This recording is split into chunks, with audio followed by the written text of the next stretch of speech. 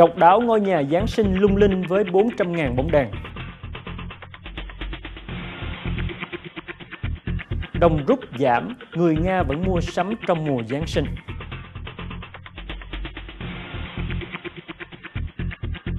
FedEx tăng thu nhập nhờ thương mại trực tuyến và giá nhiên liệu giảm. Chào mừng quý vị đã đến với bản tin thế giới.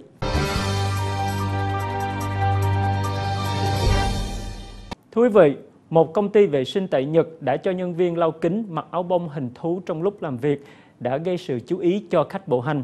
Đây là một trong những hoạt động đón mừng năm mới tại khu trung tâm tài chính Tokyo. Tòa nhà khách sạn Rio Mekan, Tokyo có hai nhân viên lau kính ăn mặc ngộ nghĩnh, một chú ngựa và một chú dê, hai biểu tượng trong 12 con giáp của âm lịch, cũng là sự chuyển giao giữa năm con ngựa và con dê. Hai người lau kính ở độ cao 55m trong khi người đi đường ngạc nhiên về sự xuất hiện của hai bộ quần áo này.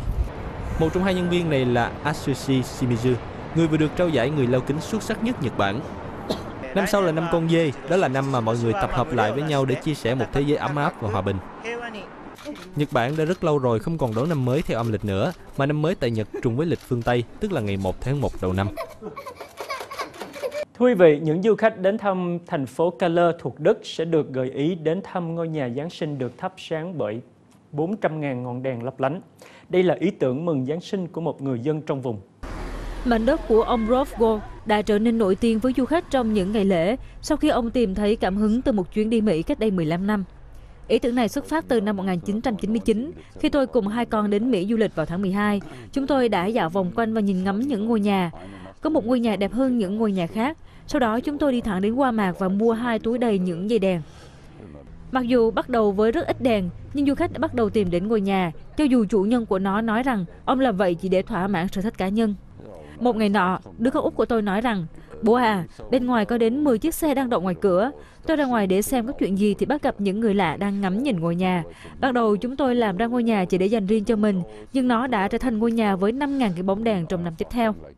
Ông Rolf Gold cùng với gia đình đã phân phối rượu vang và xúc xích để giữ cho mảnh đất này sáng đèn trong những năm qua. Nói rằng không nhớ rõ số bóng đèn, nhưng ông Gold cho biết con số có thể sắp xỉ 400.000 bóng đèn.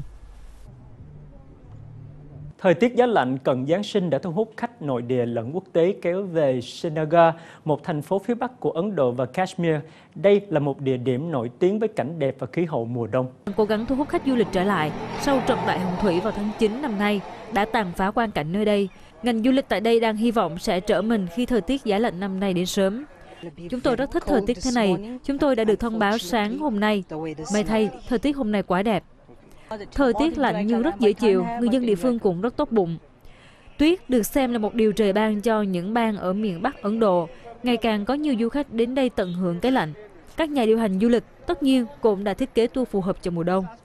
Tất cả các loại hoạt động của tour đều phù hợp với loại hình du lịch mùa đông. Chúng tôi đã nhận được những phản hồi khá tốt từ khách du lịch. Jammu và Kashmir được mệnh danh là Thụy Sĩ ở phương Đông với các trò chơi dành cho mùa đông. Thưa quý vị, Trung Quốc và nước Cộng hòa Montenegro vừa có buổi ra mắt dự án xây dựng đường cao tốc Ba Boja nối liền hai miền Nam Bắc của đất nước này. Dự án dự kiến sẽ hoàn thành trong 4 năm với tổng số tiền lên đến hàng tỷ đô la. Buổi lễ ra mắt dự án xây dựng đường cao tốc Ba Bonja được diễn ra với sự có mặt của Tổng thống nước Cộng hòa Montenegro Filip Bujanovic, Thủ tướng Milo Đukanovic cùng với Đại sứ Trung Quốc Gu Ziwei và Chủ tịch Công ty Truyền thông Xây dựng Trung Quốc CCCC. Công ty xây dựng CCCC và công ty con là công ty cầu đường Trung Quốc sẽ thi công 141 km đường đầu tiên của đường cao tốc Ba Bonja, nối liền hai miền Nam Bắc của quốc gia miền núi Adriatic. Các đơn vị thi công dự kiến sẽ hoàn thành xây dựng trong 48 tháng tới, với số tiền 809 triệu euro, tương đương 1,07 tỷ đô la Mỹ. Thủ tướng Milo Dukanovic cho biết, đây là một cơ hội tốt để Trung Quốc thể hiện khả năng kiến trúc và tiềm năng kinh tế đối với châu Âu.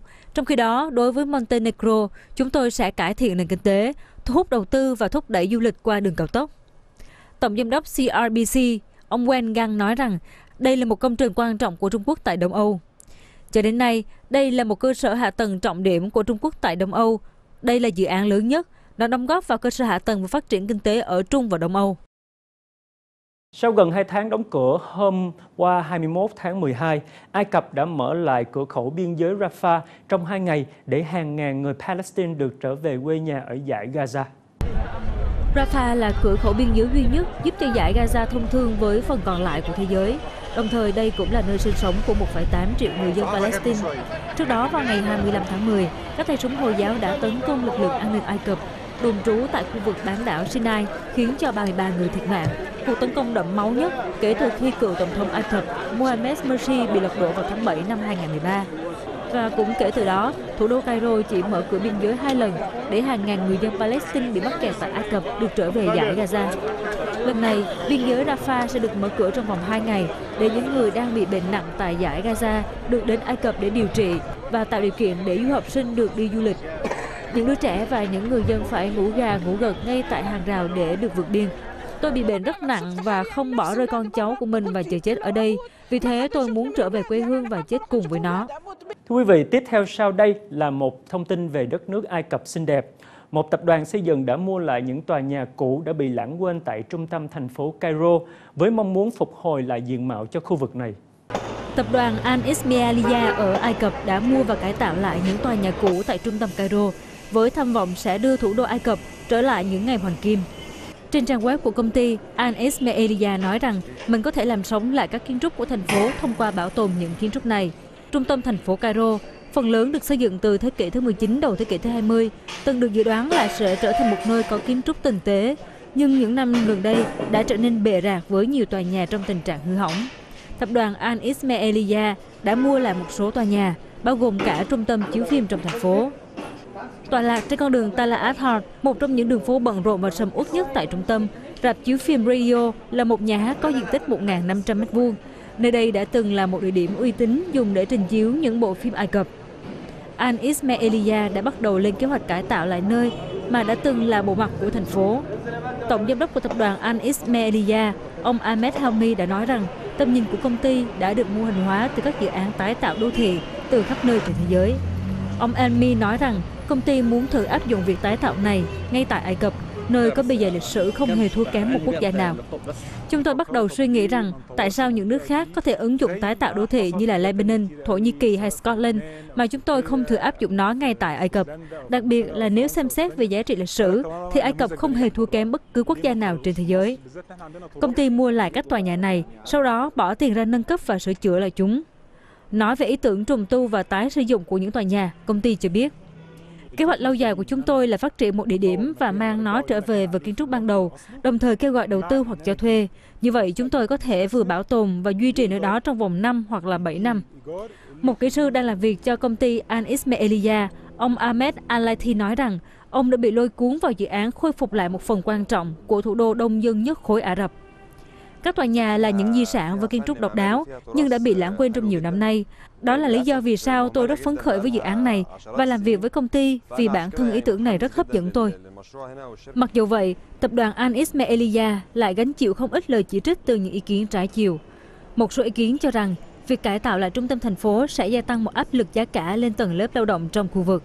Từ đầu năm nay, chính quyền thành phố Cairo đã tiến hành dọn dẹp những gánh hàng rong trong thành phố nhằm giảm tải tình trạng kẹt xe và kinh doanh không có giấy phép, nhằm tạo ra một cái nhìn mới cho khu vực này. Nói trên trang web của mình, công ty Al Ismailia cho biết tất cả những bên liên quan, bao gồm cả người dân và các chủ cửa hàng, đều đã được tư vấn về dự án này. Vừa rồi là phần 1 của bản tin thế giới, tiếp theo sau sẽ là phần 2 với những nội dung chính. Đồng rút giảm, người Nga vẫn mua sắm trong mùa Giáng sinh.